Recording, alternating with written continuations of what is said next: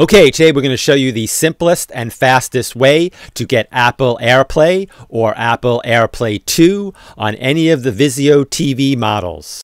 Okay, let's get started. On most Vizio models, you want to press the home button on the remote, select Extras, it's on the top right hand side of the screen, select Apple AirPlay, and then turn it on.